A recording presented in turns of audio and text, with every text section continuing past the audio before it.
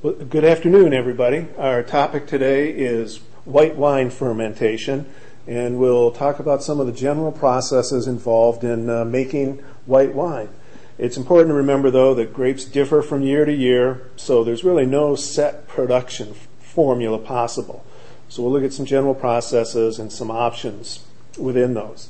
The process of making wine, again, begins with a vision. The winemaker needs to know what he wants to make. He has to have some idea of what kind of wine his customers appreciate, and then he can base his uh, fermentation decisions on achieving that particular style. So, what kind of wine are we making? What uh, what style of wine do we want? Are we looking for a sweet wine with some residual sugar in it? Do we want something with nice fruity flavors and aromas? Or do we want a more full bodied, complex wine, maybe with buttery mouthfeel, similar to uh, Chardonnay? All of these uh, styles are based on the fermentation techniques that we use. So, uh, another criteria is what's the price point?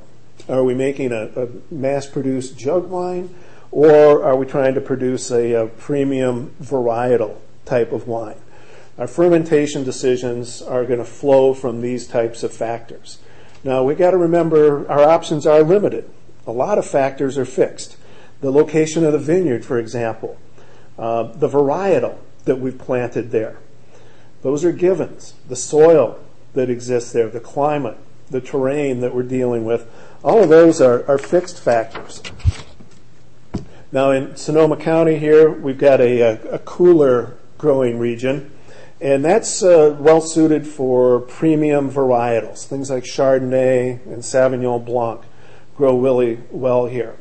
Um, in warmer regions, you'd see varietals like Chenin Blanc, French Colombard, and Gray Riesling. They're grown over in the Central Valley of California, where it's quite a bit warmer. Now, we don't have to grow all of the grapes ourselves. We can also obtain grapes from outside. A, a lot of uh, wineries will have long term contracts with uh, vineyards, with grape growers. Uh, they'll pay them based on the number of tons of grapes received and also the, the content of those grapes, what their sugar content is, the uh, acid levels, pH level, and factors like that. Being able to have growers supplying with us with grapes gives us a lot more flexibility. So by purchasing grapes, we can get around some of those fixed factors that we're stuck with in our own property. Um, in order to really get the most out of our growers, though, we have to communicate with them. We want to exert more control over the things that they're doing so that we know it's going to suit our own wines. But by working with growers, uh, we can get around some of those fixed factors and, and, concentrate on some of the things that are more variable, that are controllable, um, like irrigation and fertilization, for example. So we've got to consult with the growers and be specific about the things we want them to do. There's some critical cultural practices that can lead to big differences in style, and we want to make sure they're doing things correctly. Uh, this is often called farming for flavors. It involves some of the techniques we were talking about previously, like pruning the vines, leaf removal. Removing leaves is really important, for instance, for Sauvignon Blanc. Uh, what kind of trellis we're going to use, uh, what kind of nutrients are we going to put in the soil, what kind of fertilization, and how are we going to harvest? Do we want the grapes to be hand harvested or machine harvested? These uh, cultural practices will make a big difference in our wines. For instance, if we're uh, maintaining an open, sunny canopy, we're going to get better fruity flavors. Um, we also get fruity flavors from uh, shallow, less fertile soil, putting less fertilizer into the ground, and uh, irrigating less. On the other hand, if we have a heavy, dense canopy with heavy, rich soil and lots of fertilization, lots of irrigation, we're going to get grassy type flavors in our white wines, which are typically undesirable. So we want to avoid those uh, grassy flavors. Now here we can see uh, this is a picture of the Benzinger vineyard over in Sonoma, and uh, they're well known for farming for flavors, having some really specific techniques that they utilize.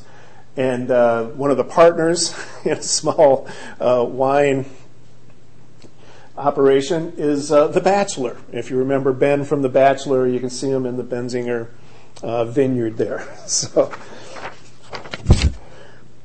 now, after uh, we've gotten closer to the harvest, uh, we've got to start following the ripening. So the winemakers will be out in the fields again, testing the sugar levels, figuring out just what the Brix level is. As the sugars rise in the grape, so do some of those good things that we're looking for, like the aroma components. The total acid content will decrease during this time. In fact, the acid content at uh, at harvest is about one tenth of what it was back at veraison a couple months before. Um, what we're really hoping for is a long hang, hang time so that the, the grapes can kind of uh, acquire those better flavors and become less watery. We can see here a, a vineyard, and uh, each separate plot is uh, designated, and you can see they've been checking the, the Brix levels and total acid content of each little area. Uh, one thing we want to remember, though, is we can't leave them on the vine too long, or uh, we won't get them in before the rains start and the quality starts to dimi- d- diminish. So when it's finally time to harvest, then we'll typically harvest early in the morning. Now we want to make sure that the fruit is at its optimum. For white table wines, usually that means 21 to 23 degrees Brix. You know, we're going to check it for varietal aroma. We'll pop some grapes in our mouth, check for tartness, see if we can project ahead what that wine's going to be like. So we'll pick it at night or in the early morning when it's nice and cool because we don't want that fermentation to start in the field. Spoilage happens faster when temperatures are higher. So we're going to try to take care of the grapes, get them picked, and get them into the winery while it's still cool. So typically, we'll uh, we'll move the grapes into the winery. Um, if we're a big operation, we might have a gondola, maybe with seven tons of grapes on it, that'll come into the winery, or we may load a truck with half-ton bins and load and unload it with a forklift. Uh, when it gets there, we want to weigh the grapes. So the grapes, if it's a truck, it'll have to go on a scale that might be embedded into the driveway. Or if it's half ton bins, we can weigh them on, on floor scales. That's what we've got a picture of here. Get a good readout of how many pounds of grapes are on there. We also need to analyze the load. We've got to take a really good look at it, check for MOG, material other than grapes. You don't want any leaves in there or little insects and things like that. So we got to check for that. Plus, we want to check the Brix levels, make sure that we're getting the quality of grapes that, that we've arranged for. So we'll pull some samples for the lab. Now, scales are a type of winery equipment that I'm going to have you guys working on for your projects. So one group will probably take a look at different types of scales suitable for a winery. So the next uh, operation then is we've got to unload the grapes. Um, They've got to go off into a receiving hopper and then get moved over to the destemmer crusher. Um, if we want to really be gentle with the grapes, we can use a forklift and just carry bins around, and that'll protect the grapes a little bit more. If we're a bigger operation, we might use a screw auger. This is a, a picture from a student group that went down to Chile, and uh, the screw auger will take carry the grapes into the destemmer crusher. Um, really delicate grapes might really even be sorted at this point. Uh, for instance, at Jordan, when they're making champagne, uh, at this stage, they'll manually pick out all the leaves and all the little things that might be in there trellis clips, staples, snails, unripe grapes. Uh, they'll go through a, a sorting process at that time. And then at other wineries, for instance, at Stone Street, um, the white wines, the white grapes will go straight to the press. They won't even go to the destemmer crusher. But in most cases, we'll send the grapes to the destemmer crusher. And there, the stems are removed by this little paddle arrangement here that takes the stems off the grapes and moves them out to the mouth of the crusher and, and onto the floor. The grapes themselves will pass through these holes and uh, go on to the crusher. And that's where the skins are broken. Uh, we just want to break the skins. We don't really want to crush the grapes uh, because we don't want to damage the seeds and, and stems and skins that are in there because that'll add tannins to our, our juice. So what we're doing, we're breaking the skin, some juice is flowing out. Really what we get is this crushed fruit mixture, and we call that must. It's a mixture of the fruit and the juice. At this point, we've got contact between the skins and the juice, so we're getting a little bit of what we call maceration, a little bit of skin contact. Uh, a little tiny bit of that is okay for white wines. It'll help extract some nutrients and some flavorants from the skins, but we want to keep that skin contact really, really short. So, why do we crush? Well, one of the main reasons is to form that, that mixture um, that we call must, and then that can be pumped around the winery in pipes. A lot easier to move it that way than any other method. We also, for white wines, we're getting rid of the stems so we don't get those tannic inputs from the stems. And we're getting some of those benefits I just mentioned, a little bit of increased flavor from the skin contact. Here's what a destemmer crusher looks like. The, the paddles are up in this cylinder, and you can see the holes in the wall there so that the grapes can grow through, and uh, they'll form into that must, and we can pump it out of there. Now, at this stage, it's really important that we protect the quality of the juice. Uh, like I said, we want to keep a really short period of skin contact because the more time that, that this stuff is um, exposed to the air, there's more chance of spoilage happening. So we really want to uh, keep it cool, keep uh, keep that must down around 50 or 60 degrees, so that fermentation doesn't start, and so that there's no microbial activity taking place.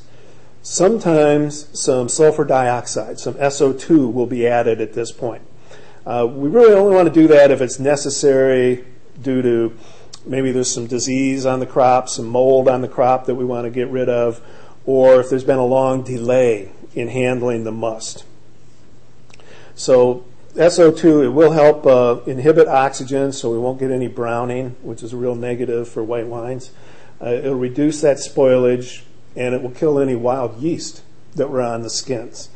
Um, the bad news is it can uh, leave an off odor in the wines, and a lot of people are allergic to the sulfur, so that can be a real negative also.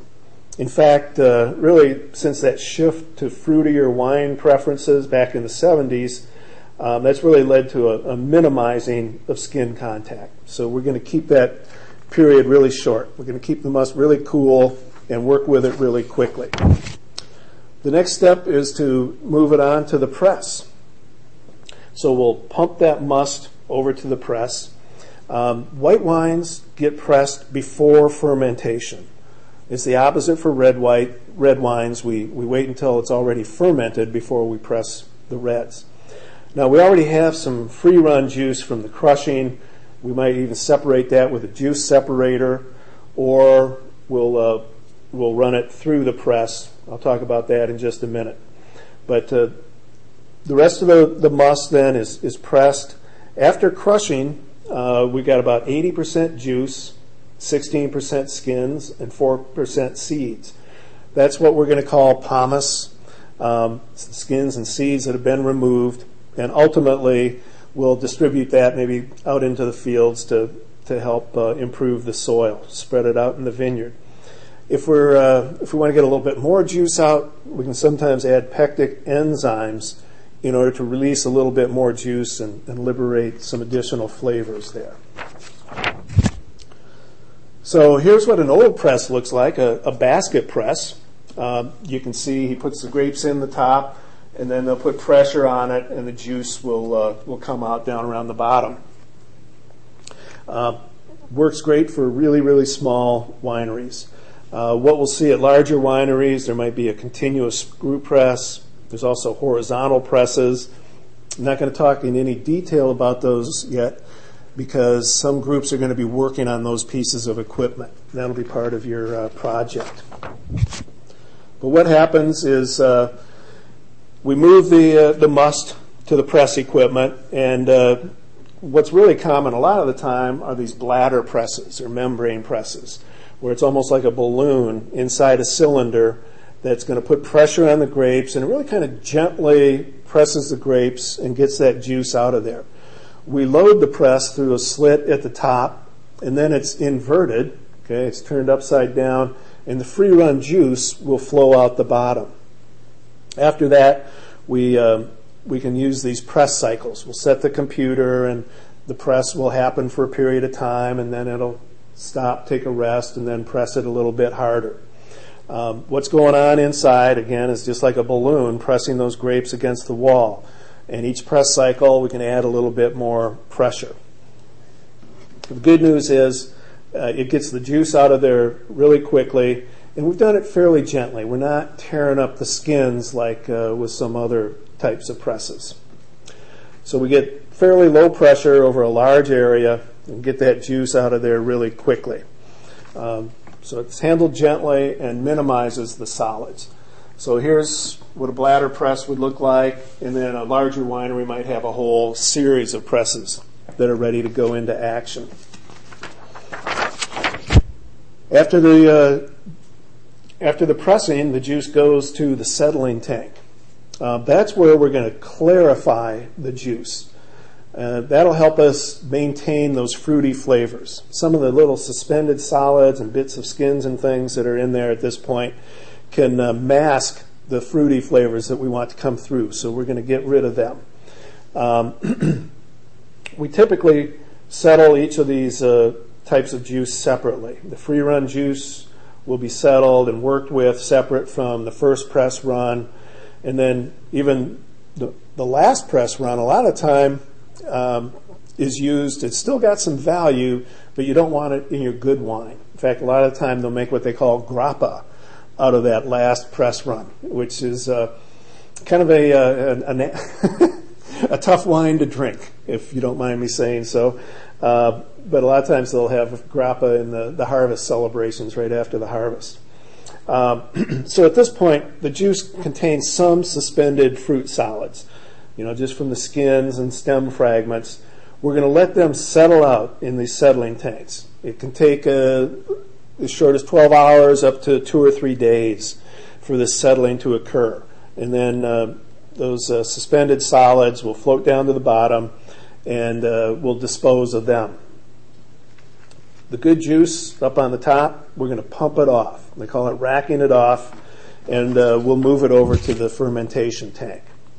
So after pressing and before we start fermenting the wine, we want to make sure we've got it right. Um, if there's a uh, we want to make sure no microbial action takes place and no spoilage. Now, a little earlier, if we desired to, we used a little SO2 in order to make sure that happens. So if we're going to use it, we usually use it uh, during the crushing so that there's time for it to work before um, we go into fermentation. But it's really preferable to keep the wine very cool, try to chill it down to maybe 50 degrees so that that spoilage won't take place. Um, if there's a good level of acidity, that can also help to limit the spoilage. So we want to look at the juice. We want the total acidity to be between 5.5 and 8.5. Uh, the whites would really be at the higher end of that uh, range, up closer to the 8.5. We want the pH level to be 3.1 to 3.4. We may need to adjust the nitrogen. The yeast need nitrogen as food to keep themselves going so they can do their job. So sometimes a little diammonium phosphate can be added to tweak up that nitrogen level, make sure the yeast will survive. Um, if there's not enough sugar to obtain the style that we want, uh, we really can't add sugar in California, but what you can do is add juice from a, a sweeter uh, group of wine. We can add that in, and that will give us more of the sweetness that we want. Um, in other parts of the world, um, a process called chaptalization can take place where they actually just add the sugar. We also can do a little blending at this point. Uh, we can add back maybe the juice from the first press run to that free run juice and uh, use that to make our wine. Usually the stuff from the first press run is pretty good. Once we've got it just right, then we're going to add the yeast. So this is a smaller batch taking place at a smaller winery, um, but we can add the yeast and uh, that will get the fermentation process going. Uh, the choice of yeast is a really important decision, and again, that'll be the topic of one of your projects. So this is where fermentation begins. the uh, the white wines will always uh, be fermented in a tank with a closed top. That will allow us to keep out all the air and all the contaminants. On the other end, red wines will typically uh, be fermented in an open top so that they can uh, do punch downs and, and pump overs. So we inoculate the juice with cultured yeast, and the yeast does the work.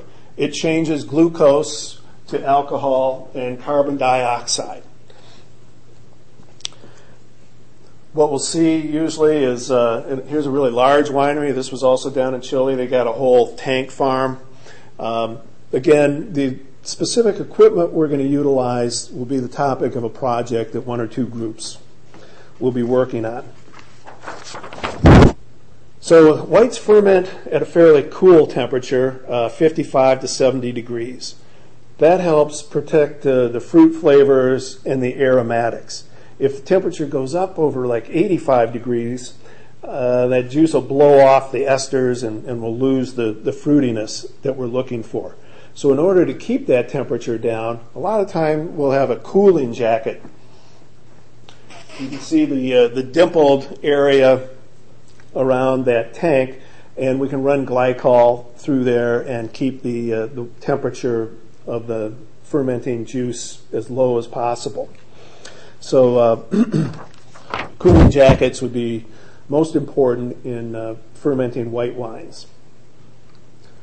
So as the fermentation is taking place, as the yeast is doing its work, um, the winemakers will kind of follow the fermentation. They'll use a hydrometer to measure the density of the juice, and that's actually going to kind of tell us how much sugar is left, how much what the Brix level is.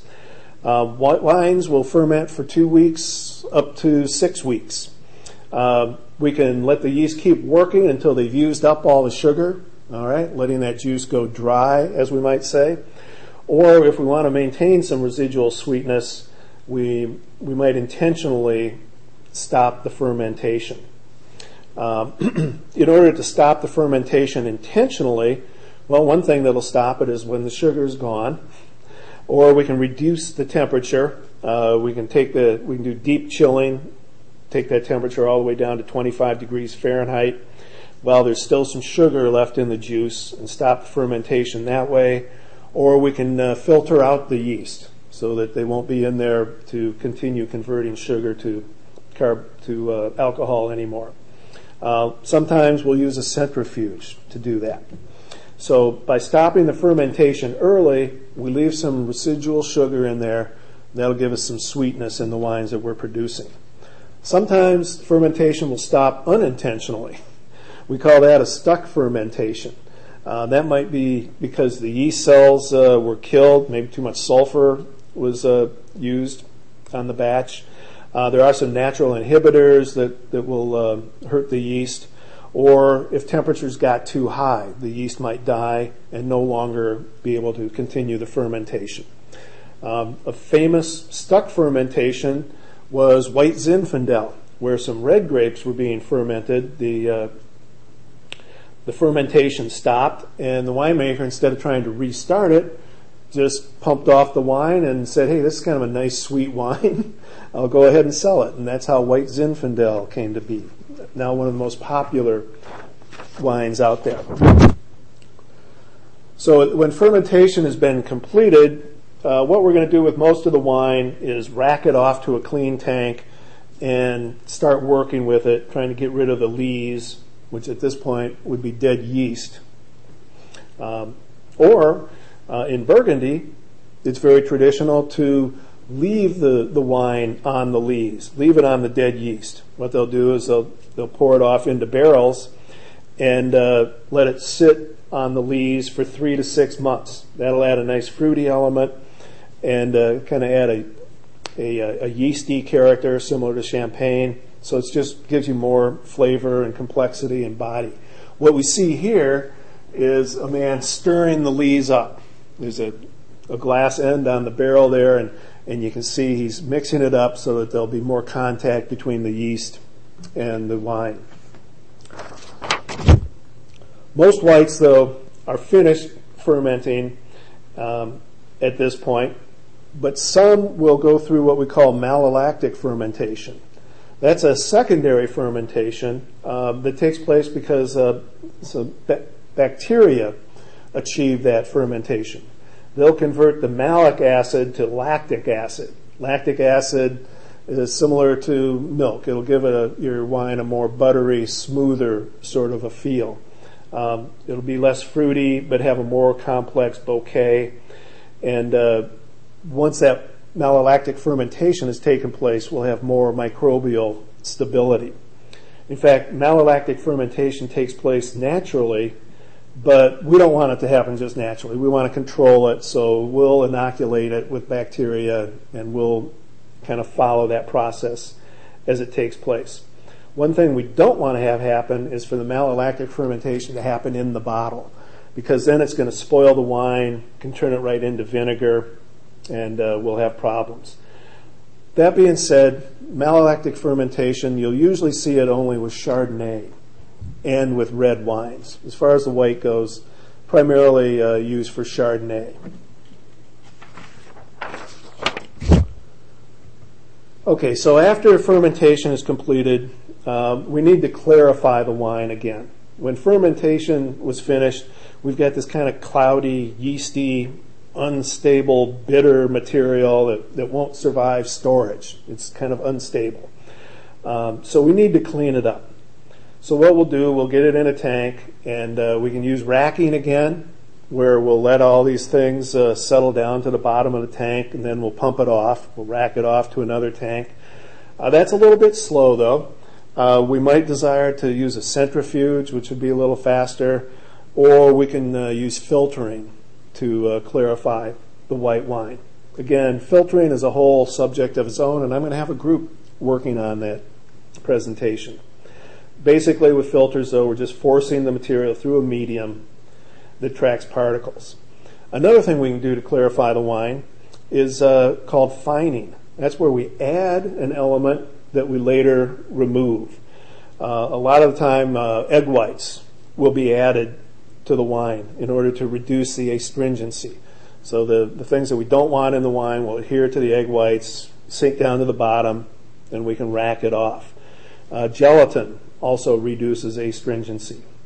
A material called bentonite uh, removes some proteins from the wines. It's got a lot of sharp edges, the proteins adhere to it, and again, everything sinks down to the bottom. Another material that's used uh, periodically is PVPP. That helps to remove brown pigments if the wine is oxidized a little bit. Uh, PVPP stands for polyvinyl polypyrrolidone. Here's a picture of uh, some wine that's been fined with bentonite. You can see it's a lot clearer than the wine that was not fined with bentonite. So that is a good example of this clarification process we're using. After we've gotten it clarified, uh, we need to make sure the wine is stable. We don't want anything bad to happen to the wine after we've bottled it. So we want to make sure we've got heat stability. What will happen when the wine is heated, maybe during transportation to a distribution center, um, it'll become cloudy because of these proteins. So by fining it with bentonite, protein